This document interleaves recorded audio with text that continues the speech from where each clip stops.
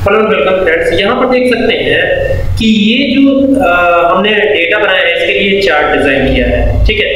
अब यहाँ पर ये देख सकते हैं ये ऑप्शन क्या हुआ है? स्विच रो ऑब्लिक कॉलम तो अगर मैं इस पर क्लिक करता हूँ जैसे मैंने इस पर क्लिक किया तो ये देखिए ये यहाँ पर चार्ट की स्थिति देखिए चेंज हो गई। ठीक है? अब यहाँ पर अगर दोबारा क्लिक करता हूँ तो ये देखिए ये फिर चेंज हो गया। ठीक है?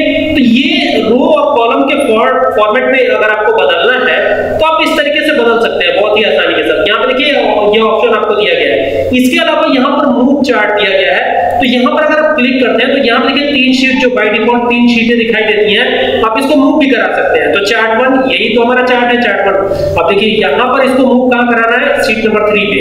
अब ओके कर दीजिए। अब ये शीट नंबर थ्री पे मूव हो गया है। ये देखिए शीट नंबर वन पे ये डेटा है और ये शीट नंबर थ्री पे हमारा चार्ट है। तो इजिली आप मूव करा सकते हैं इस ऑप्शन का प्रयोग करके। Thank you for watching this video